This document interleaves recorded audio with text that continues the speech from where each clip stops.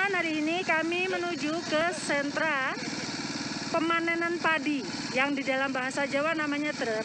Nah, ternyata ada beberapa kosakata yang unik. Salah satunya adalah ini. Nah, ini namanya lamen. Yang masih berdiri itu namanya lamen.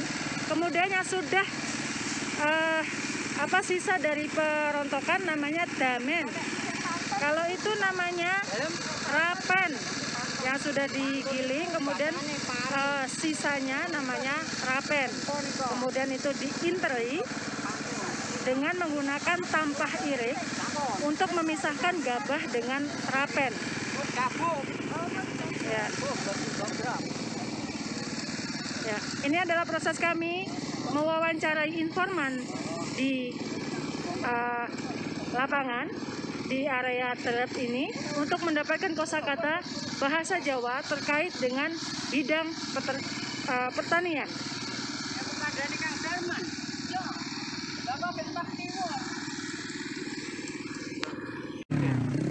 Nah ini kalau dalam bahasa Jawa namanya terep ya Pak ya? Adalah terep. Uh, tim sedang melakukan wawancara dengan informan pedagang kerajinan tradisional di pasar Canggal Boyolali. Nah, doakan kami semoga mendapatkan data yang cukup untuk hari ini agar kosakata kita dapat dibukukan dan tidak hilang begitu saja.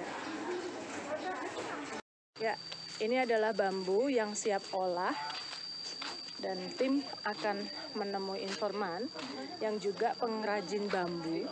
Ini untuk pembuatan sapu lidi, teman-teman.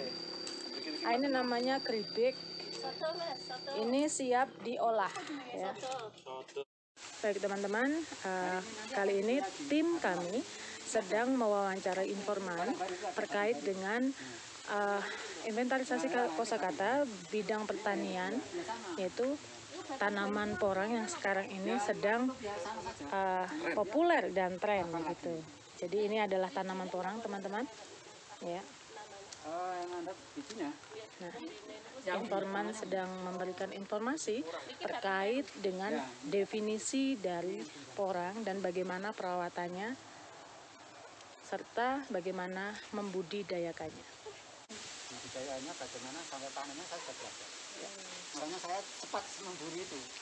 Dan satu lagi yang perlu dicatat, Balai Bahasa Jawa Tengah melakukan pelacakan data tetap mematuhi protokol kesehatan yang sudah ditetapkan oleh pemerintah.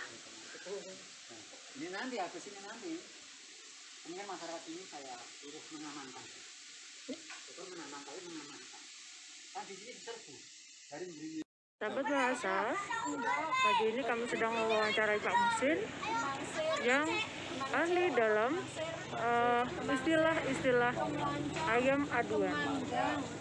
Nah, ini adalah ayam aduan yang berada dalam pranjen atau kandang ayam eh, yang terbuat dari bambu. Nah, ini adalah proses wawancara kami dengan narasumber kita pada hari ini. dene kalah niku dadi jago napa niku Biasa eh, Pak Lurah Laban berkenan menggambarkan eh, bentuk-bentuk dari gamelan, apa itu kenong, apa itu bonang, apa itu gender, eh, apa itu gong. Gunung lanang iki gunung wedok. Oh, ngaten nggih. Nah, perbedaannya antara nih niki ketuk niki kali gunung niki. Nggih. Kalau ketuk niki mboten enten pasune.